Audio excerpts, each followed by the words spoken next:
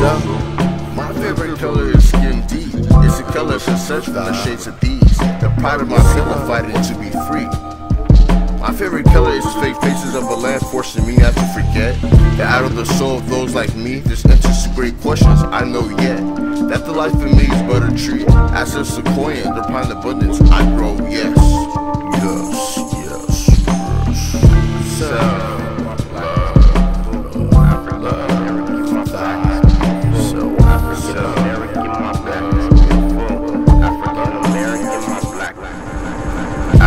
African American, my black is beautiful. African American, my black is beautiful. African American, my black is beautiful. African American, my black is beautiful.